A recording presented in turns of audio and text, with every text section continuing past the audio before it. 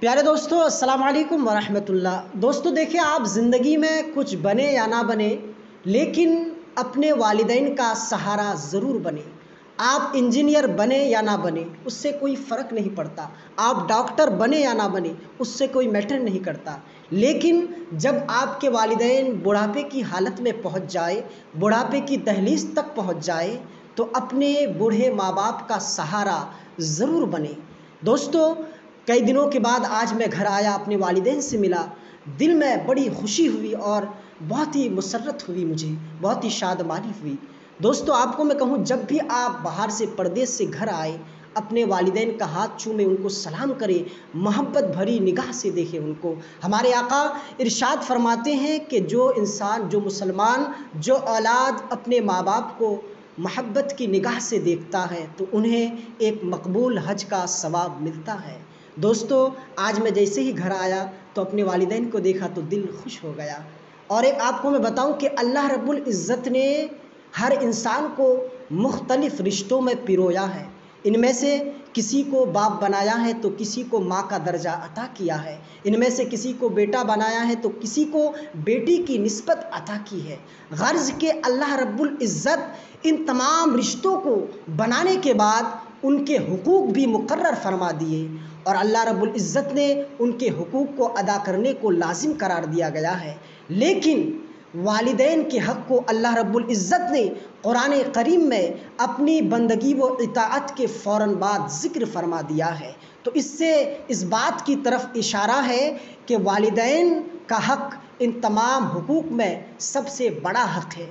آپ والدین کے ساتھ حسن سلوک کریں، آپ والدین کی ضرورتوں کو پوری کریں۔ کچھ اولاد کس طرح کی ہوتی ہے کہ یہ دعویٰ کرتا ہے کہ وہ اپنے والدین سے بہت زیادہ محبت کرتا ہے، لیکن جب وہ والدین کی ضرورت کو پوری نہیں کر پاتی ہے، وہ اولادیں، اگر والدین کو کسی چیز کی ضرورت ہو، اگر وہ پوری نہ کر پائے تو یہ محبت کا دعویٰ کرنا یہ بالکل بیکار اور ناکام ہے۔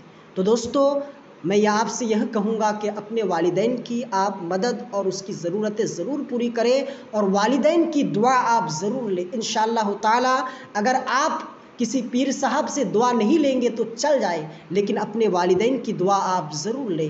ہمارے آقا ارشاد فرماتے ہیں کہ جب ماں باپ ناراض ہوتے ہیں تو عرش اعظم ہل جاتا ہے۔ اور جب ماں باپ کی دعا عرش اعظم سے ٹکراتی ہے، تو عرش اعظم بھی اس دعا کو قبولیت کی درجے تک پہنچا دیتا ہے۔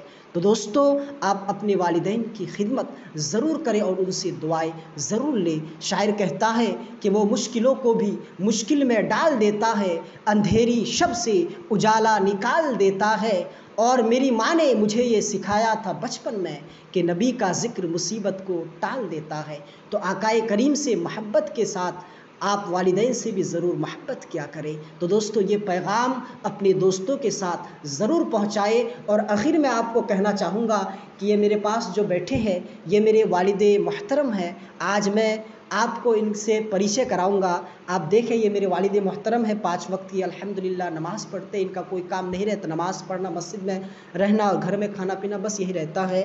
السلام علیکم ورحمۃ اللہ۔ وعلیکم السلام تو دوستو آپ سے میں گزارش کروں گا مائی ڈیئر اسٹوڈنٹس پیارے ناظرین آپ میرے والدین کے لیے ضرور دعا کریں اور میں بھی آپ کے والدین کے لیے دعا کرتا ہوں کہ اللہ رب العزت سب کے ماں باپ کو سلامت رکھے اور عمر کی درازگی عطا فرمائے اور ہر بیماری ہر پریشانی سے محفوظ و معمول عطا فرمائے۔ تو دوستو اس پیغام کو اپنے دوستوں کے ساتھ شیئر ضرور کریں اور ویڈیو کو لائک ضرور کریں۔ السلام علیکم ورحمۃ اللہ۔